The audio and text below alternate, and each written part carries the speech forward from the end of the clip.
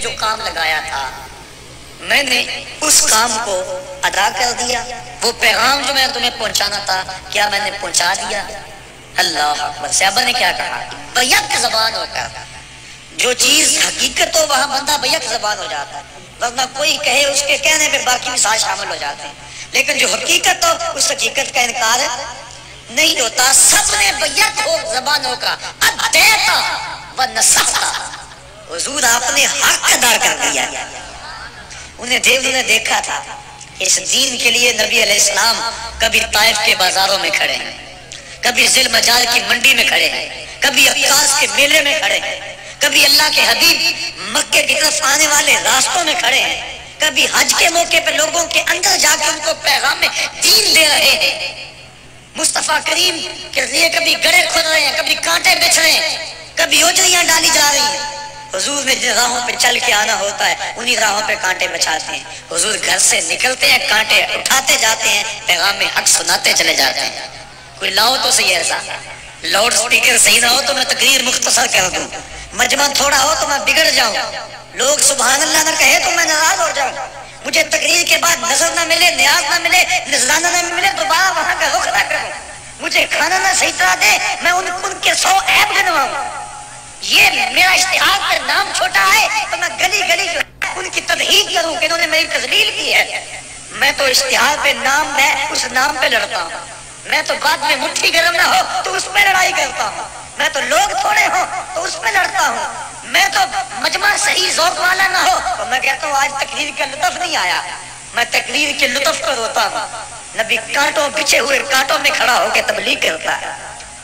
تو کیوں نہ کہتے ادیتا و نصحتا حضور آپ نے حق ادا کر دیا۔ پھر پوچھا دوبارہ کہا میرے مالک نے میرے ذمہ جو کام لگایا تھا، بتاؤ میں نے وہ کام پورا کر دیا کہ نہیں کر دیا؟ پھر کہا ادیتا و نصحتا آپ نے حق ادا کر دیا۔ اللہ اکبر۔ پھر پوچھا، اللہ اکبر۔ پھر کہا یہ صحابہ کہہ رہے ہیں۔ آج کا ایک مولوی جو گلی گلی جس کی کیسٹیں چلتی ہیں۔ آج وہ کہتا ہے کہ نبی تو جزیرت العرب سے باہر نہ نکلے۔ تبلیغی جماعت والا تم پوری دنیا کے کونے کونے پہ جا رہے ہو۔ کیا بول رہے ہیں؟ سنو نبی کو، تم تو کافروں کو مشرق بناتے ہو۔ یہ نبی ہے مصطفیٰ کریم کو سارے صحابہ سوا لاکھ لوگ کہہ رہے ہیں۔ ادیتا و نصحتا تو نے حق، آپ نے حق ادا کر دیا۔ حضور پھر آقا نے پوچھا جی تیسری مرتبہ، پھر یہی کہا۔ پھر مالک نے کہا، میرے مالک، مصطفیٰ نے کہا، میرے مالک، دیکھ تیرے بندے کیا گواہی دے رہے ہیں۔ دیکھ تیرے بندے کیا گواہی دے رہے ہیں۔ دیکھ تیرے بندے کیا گواہی دے رہے ہیں۔ اور ساتھ ہی سورہ نصر اللہ والفتح ورائیت الناس یدخلون فی دین اللہ افواجا یا الیوم اکملت لکم دینکم یہ آیت کریمہ اتری تو آقا کریم صلی اللہ علیہ وسلم پر یہ آیت اتری تو حضرت سیدنا صدیق اکبر پھوٹ پھوٹ کے رونے لگے۔ کہا کہ اب حضور علیہ السلام ہم سے رخصت ہوا جا رہے ہیں اور آقا کریم نے پھر آخری جو خطبہ حجت الوداع کے موقع پہ جملے ارشاد فرمائے فرمائے لوگوں، میں تمہیں نماز کی وصیت کرتا ہوں۔ دو کمزوروں کے بارے میں اللہ سے ڈراتا ہوں، ایک بیوی اور دوسرے غلاموں کے بارے میں۔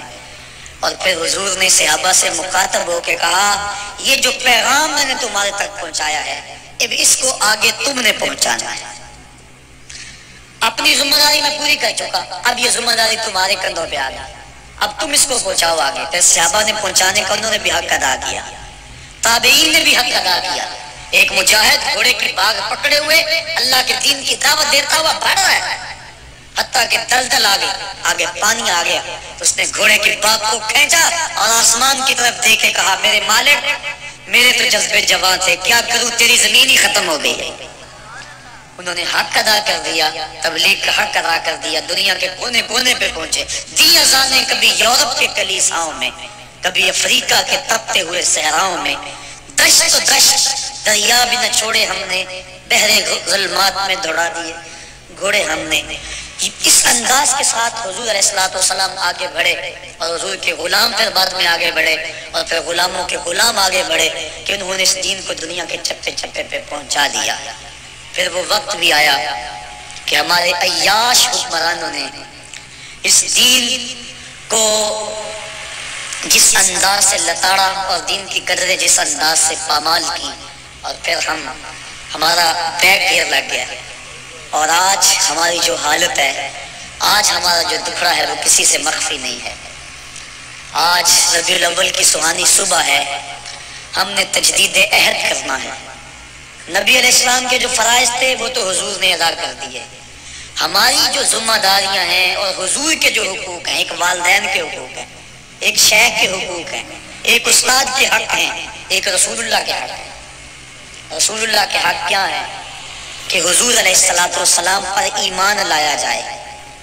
ایک حق حضور کا یہ ہے کہ حضور علیہ السلاۃ والسلام پر ایمان لایا جائے اور حضور کی اتباع کی جائے۔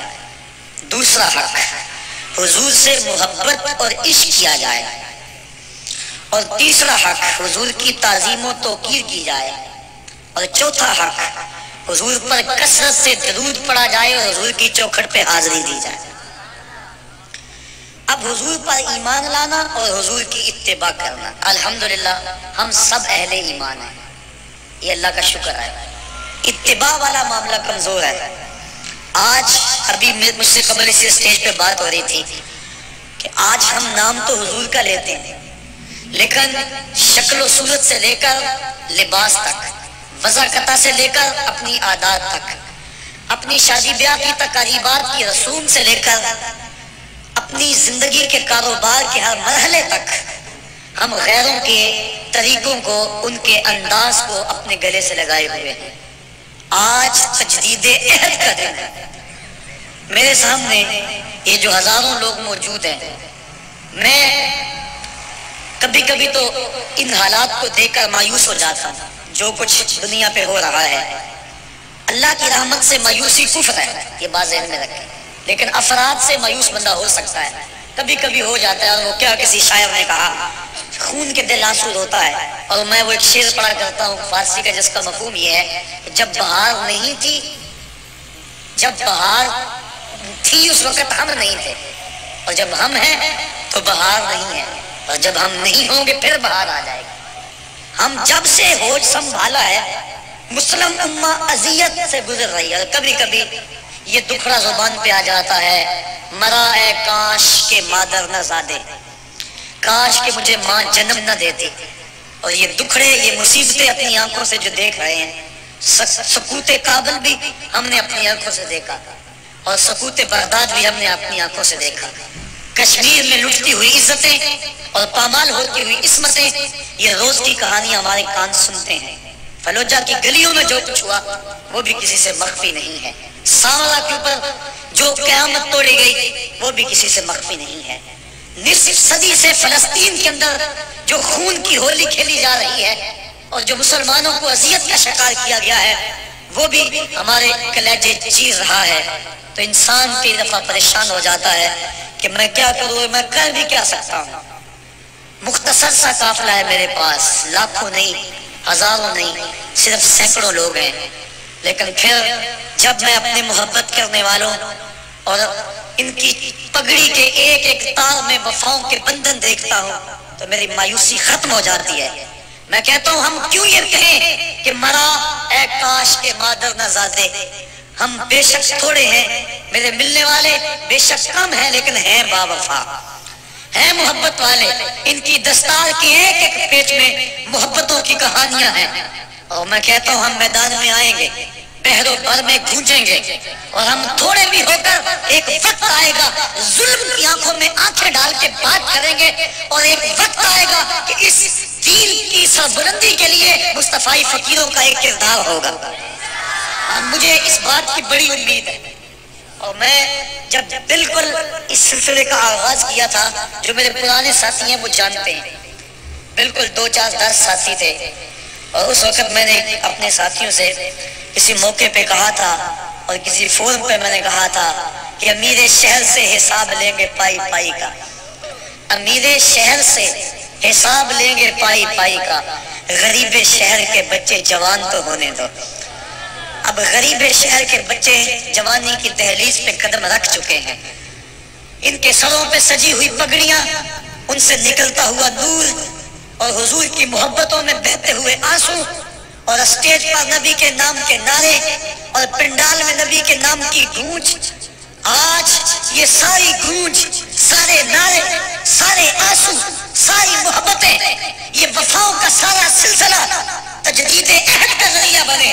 اور آج کے بعد حسب سابق بھی میں نے دس محرم کو جو وعدہ لیا اور اس وعدے کے نتیجے کے اندر میں نے جگہ جگہ درس قرآن کے پھیلے ہوئے نیٹ ورک اور درس قرآن کے جگہ جگہ پھیلے ہوئے سلسلوں میں دوستوں کی محبت، ان کی دیوانگی اور ان کا پیار دیکھا اور آپ یقین جانیے گا کہ اگر دو گنا حاضری نہیں ہوئی تو ڈیڑھ گنا حاضری ضرور ہو گئی۔ اس وعدے کے بعد آج ربیع الاول کی سہانی گھڑیاں ہیں۔ وہ لمحے قریب آ رہے ہیں جن کی جرمت میں نبیوں کا تاجور دنیا پہ جلوہ گر ہوا تھا۔ اور وہ رحمت کی برسات ہو رہی ہے اور یہ ساری رات رحمتوں کی برسات، یہ رحمت ہے۔ اللہ کی رحمتوں کا نزول ہو رہا ہے۔ آپ ہزاروں لوگ میرے سامنے موجود ہیں اور یہ اجنبی لوگ نہیں ہیں، یہ وہ لوگ ہیں جو میرے ساتھ محبتوں کا سلسلہ اس لیے رکھتے ہیں کہ میرا تعلق قرآن سے ہے اور صحاب قرآن سے ہے۔ گلی گلی قرآن کو اپنے اپنے سر پہ اٹھائے گھومتا ہوں اور قرآن کا پیغام لے کر گلی گلی جاتا ہوں۔ دس محرم کو ایک وعدہ لیا تھا اور پورے زور سے آپ نے اس وعدے کا جواب دیا اور لوگوں نے اس وعدے پہ لبیک کہا اور اس کا عملی اظہار بھی میں نے دیکھا۔ آج مصطفیٰ جان رحمت پہ چھم چھم برستی اس سہانی گھڑیوں کے حسین لمحوں کے اندر، وہی وعدہ آپ سے دہرانا چاہتا ہوں۔ میرا ہر بار کوئی نیا وعدہ نہیں ہوتا۔ آج پھر وہی وعدہ ہے۔ اور یہ وعدہ آپ نے زبان سے نہیں، دل کی اتھا گہرائیوں سے کرنا ہے۔ اور زبان سے قوت سے اس وعدے کی پختگی پر مہر لگانی ہے اور آپ کی یہ آواز ہوا کے دوش پہ گنبد خزرہ کے مکین تک بھی پہنچ رہی ہے۔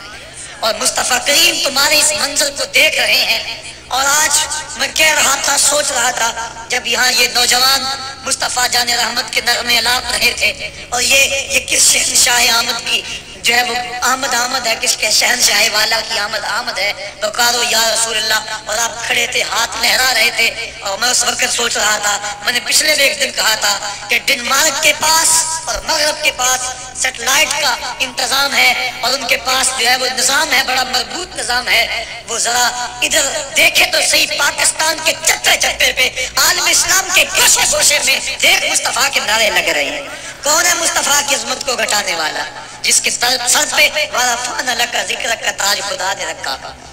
جس کے، جس کی عظمتوں کی گواہی خدا نے دی ہو، اور جس کو اتنی بلندیاں دی کہ قدموں کی چاپ فراز عرش پر گونجتی رہے۔ حضرت عیسیٰ جس کے نالین کے تسمے کھولنے کی سعادت کے لیے آرزو تمنائیں کرتے رہے، وہ کتنا بلند ہے، کتنا بالا ہے، کتنا اونچا نبی ہے۔ تو آج ہم نے، آج کے اس مبارک دن تجدید عہد کرنی ہے۔ آج کے بعد ہم نے اللہ رسول سے وعدہ کرنا ہے، ہم جیئیں گے تو اللہ کے لیے۔ ہم مریں گے تو دین کے لیے۔ اور زندگی کی آخری سانس تک رسول اللہ کے وفادار رہیں گے۔